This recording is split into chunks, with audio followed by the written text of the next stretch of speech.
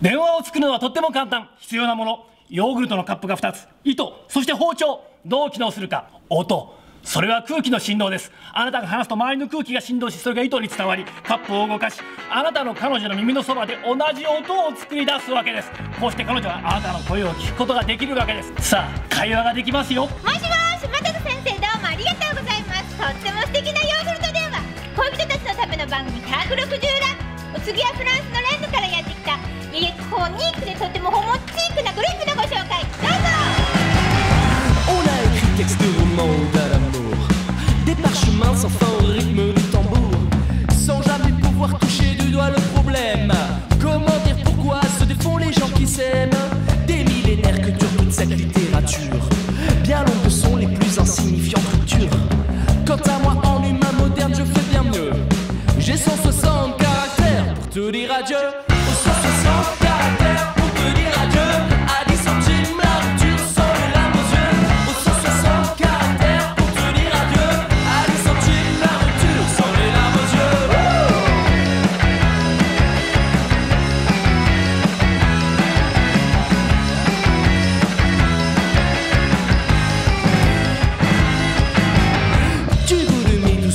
tous les mots que je pourrais orner de caractères spéciaux.